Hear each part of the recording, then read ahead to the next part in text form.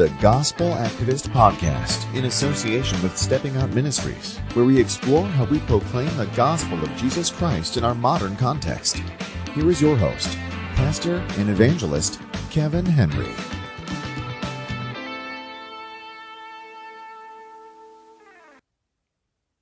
Hi, this is Pastor Kevin, and welcome back to the Gospel Activist Podcast. Today on the podcast, we're beginning looking at the theological doctrine of free will. And uh, that is one of those ones that sometimes raises tensions between certain groups, but it is an important one for us to look at today. Before we look at that content, I want to invite you again to subscribe to our videos on our YouTube channel by clicking the subscribe button and the notification bell so you get notified for when each video is uploaded and or through our website by going to the bottom of our website and sign up for our newsletter and through our newsletter, you'll also be informed as to when each video is uploaded and other information about the ministry. And so we invite you to sign up for our newsletter and or um, subscribe to our YouTube channel. As we've mentioned, today's content is on free will. And uh, is there such thing as free will? Well, we're going to answer that, but also how does that relate to the gospel and how does it affect how we share the gospel? Well, first we need to understand this term free will and what does it mean? Well, the term free will, first of all, is not found in Scripture. However, the idea is clearly found in Scripture. So there's passages that support this idea of free will. Just like the term Trinity, we don't see the term Trinity in the Bible, but we see that doctrine throughout the New Testament. The doctrine of Trinity is the Father, Son, and Holy Spirit. Three beings, one God and that is one hard topic to understand sometimes. And uh, we're not going into that today because we're looking at free will. Again, the language in Scripture does imply that the doctrine of free will does exist and is true.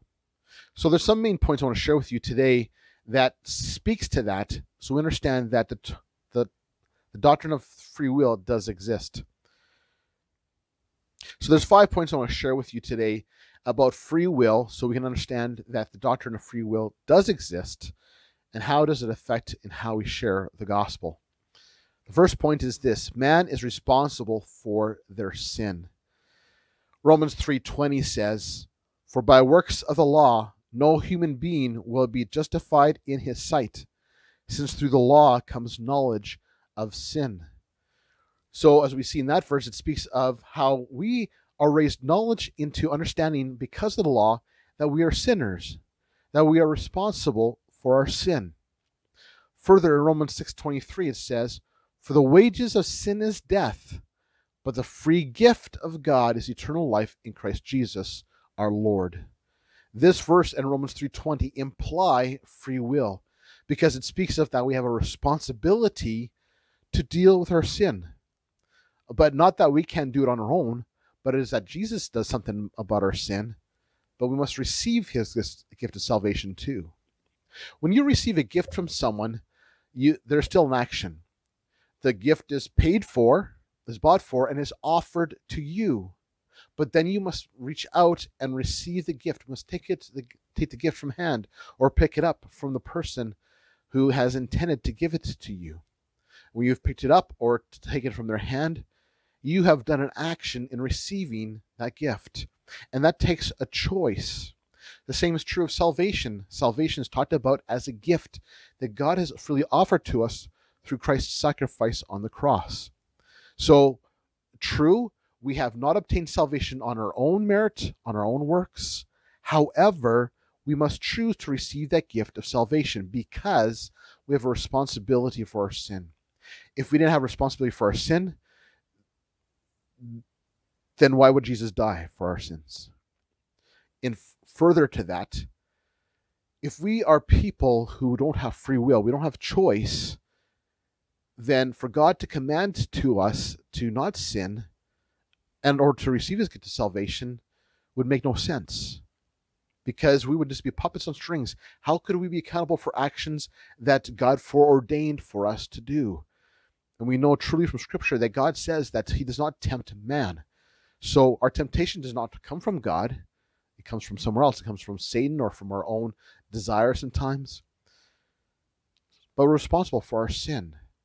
So this speaks to free will that we have a choice to sin or not to sin based on the power that God gives us. Second point is this man is spiritually blind. 2 Corinthians 4, verse 3 to 4 says, And even if our gospel is veiled, it is veiled to those who are perishing. In their case, the God of this world has blinded the minds of the unbelievers to keep them from seeing the light of the gospel of the glory of Christ, who is the image of God. Who has blinded the people? Well, in this passage says God of this world. It's not saying that it's God. The God of this world is Satan. And and by the way, it's not God with a capital G, it's God with a small g. It's referring to Satan here. And so, yes, we're blinded by something. So then is our is sin our, our choice and problem then? Well, going back to point one, man is responsible for our sins. And because of that, we uh, when Satan blinds us, there must be prayer from us as Christians to pray that the pray that their blinders will be removed so they can see the truth. So does that mean that God ordains people to go to hell? Not at all. I have seen times when I've prayed for people that God will remove their spiritual blindness, that over time their spiritual blindness has been removed and they're able to understand then their plight and sin. So, yes, this verse seems to contradict what we're saying now, but there's still a factor in it that, that we are to pray then that spiritual blindness is removed from those who are still lost. Third point is this God does the calling. I think Calvinism is correct in this is that, that God does the calling, God does the pursuing, but we forget that we still have free will in this. Romans 11 29 says, For the gifts and the calling of God are irrevocable. This gift is the gift of salvation. The calling is the call to salvation. So one might wonder and say, well, when do I know God is calling me into faith? Well, one, it might be when someone shares the gospel with you, or when you have the realization that God does exist. The question then comes then, well, what about those who have never heard of God? Well, in Romans, it talks about too that God has left a witness of himself so that no man, no person is without excuse. Creation is part of that. God has put an inherent knowledge in us that he exists and that we must pursue him. So God does give us the calling to every single person. We see elsewhere that God desires that all to be saved, but we still have the choice to receive that gift of salvation or not. God gives the calling. It is for you to receive that calling. Next point is that God clears our vision. This again speaks to the second point that God, man is spiritually blind, but God can give clear vision because He gives that calling. He gives clear vision for us to see the calling, to hear the calling. Ephesians 1 15 through 23, and verse 18 is the key here, but we're going to read this so you have more of an understanding of the context of verse 18. Beginning again in verse 15. For this reason, because I have heard of your faith in the Lord Jesus and your love toward all the saints. I do not cease to give thanks to you for you, remembering you in my prayers, that the God of our Lord Jesus Christ, the Father of glory, may give you the spirit of wisdom and of revelation in the knowledge of him, having the eyes of your hearts enlightened, that you may know what is the hope to which he has called you what are the riches of his glorious inheritance in the saints? And that is the measurable greatness of his power toward us who believe, according to the working of his great might that he worked in Christ when he, when he raised him from the dead and seated him at his right hand in the heavenly places, far above all rule and authority and power and dominion, and above every name that is that is named for only in this age, but also in the one to come.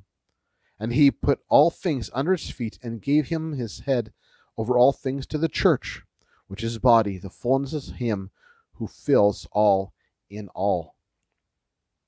So I mentioned the key verse here is verse 18. I'll read that verse to you again. Having the eyes of your hearts enlightened. Again, that is key. eyes of your hearts enlightened. If God doesn't enlighten your hearts, spiritual blinders can't be removed. And so it's the work that God does and does for everyone.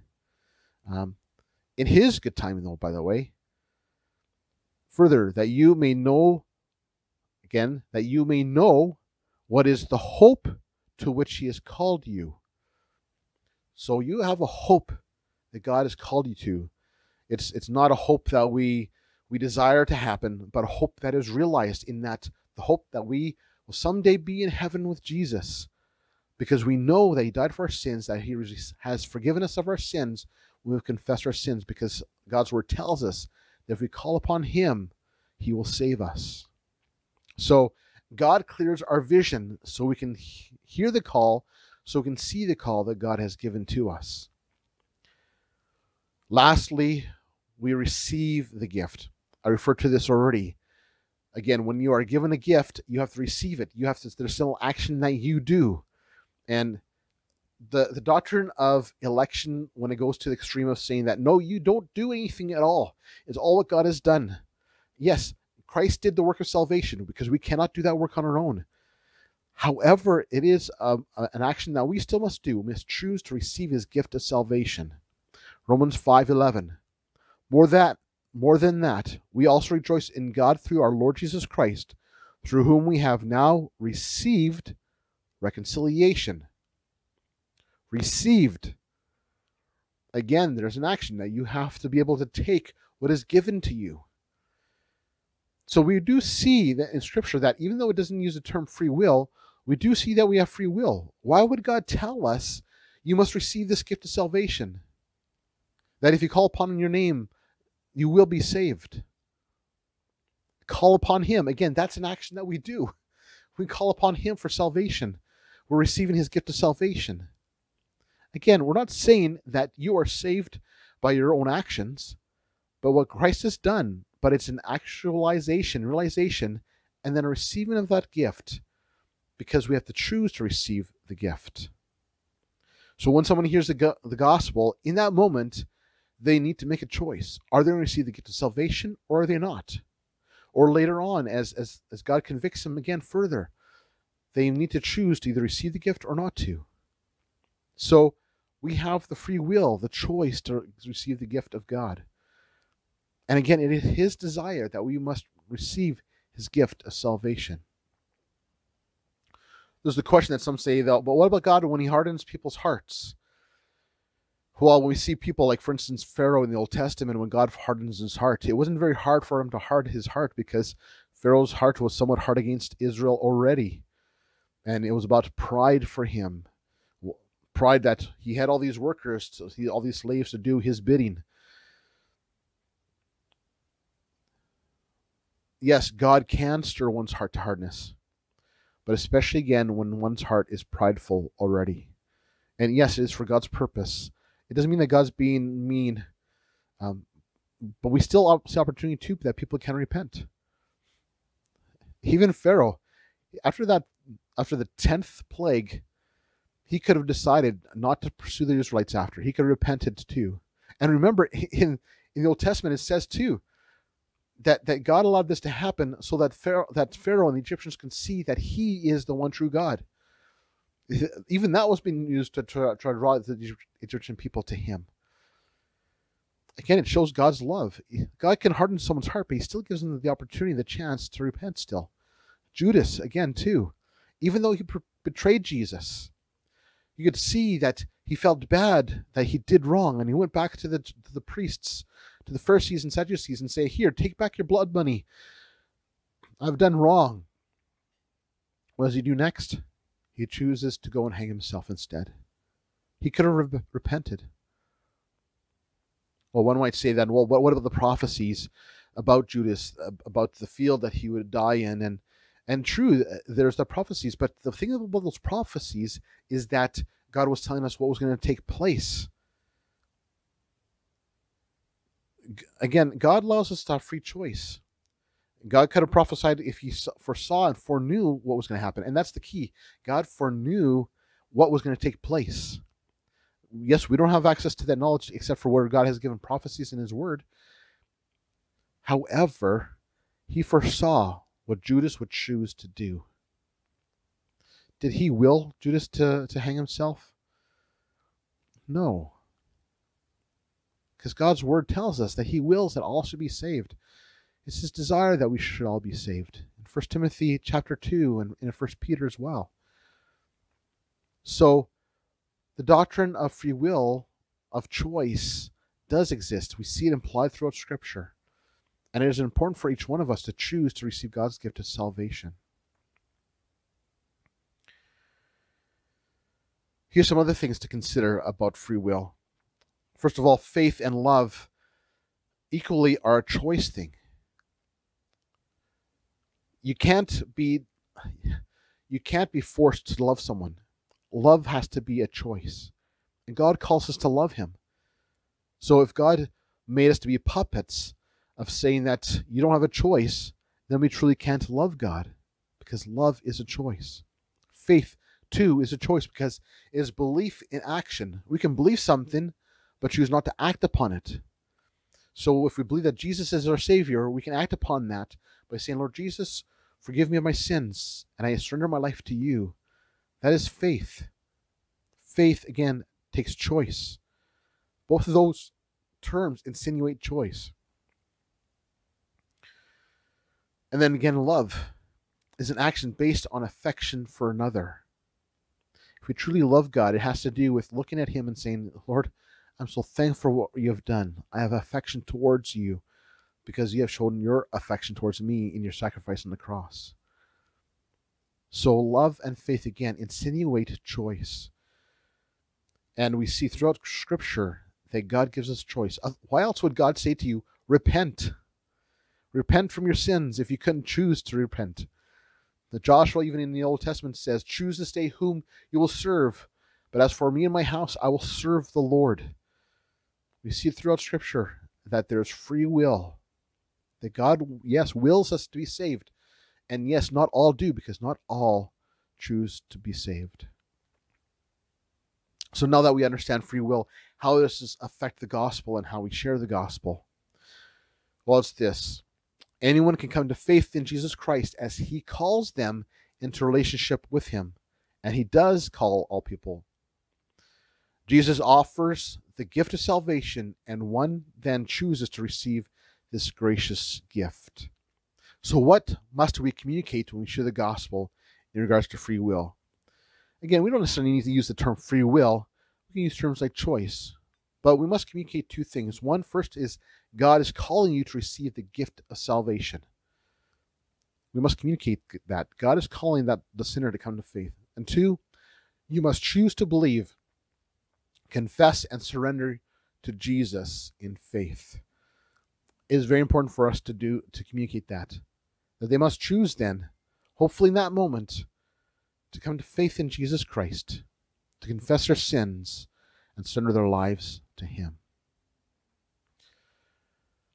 I would love to interact with you further on this topic. And so here's a question that I would love to see you inter- interact with you in the comments below.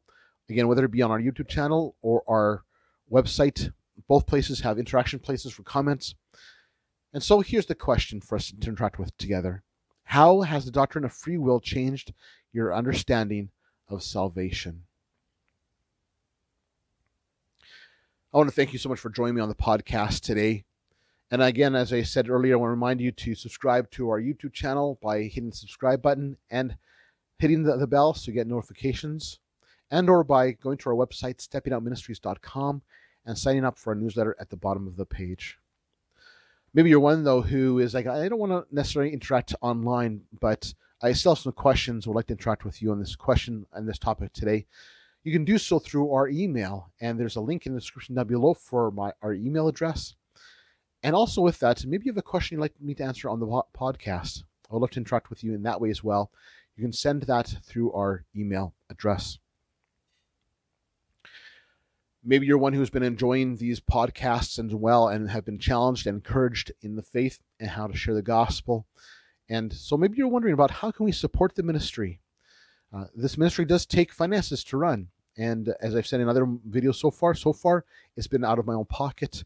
And uh, these days, a little bit more tough these days as I don't have regular income. And so we do need help in order to keep the podcast running and our website running. And so you can do so in two ways. You can send an e transfer to the email address linked below, or you can go to our Patreon page and pledge to support the ministry on a monthly basis. And through Patreon, there's just a, a base amount that you can, where it's $5 Canadian a month, which would help us greatly. And there's other tiers that unlock other ways to just a, a way of saying thanks for your support financially. And one of those things is a monthly uh, interactive with me online, where you can talk with me face to face online and ask any question you may have about evangelism and apologetics. Either way, I want to thank you so much for supporting us at Stepping Out Ministries.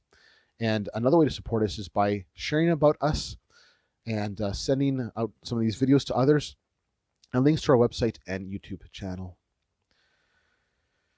Next time on the program, we'll be looking at the topic of sovereignty. Now, when Calvinists and Arminians disagree on this, who's right? Uh, and what about those who are in the middle of the spectrum of these two doctrines, uh, these both ideologies? How does it affect sovereignty? And how does our view of sovereignty affect how we share the gospel?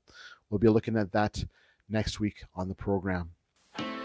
Until next time, this is Pastor Kevin reminding you to share the gospel to any person, anywhere, anytime, and at no matter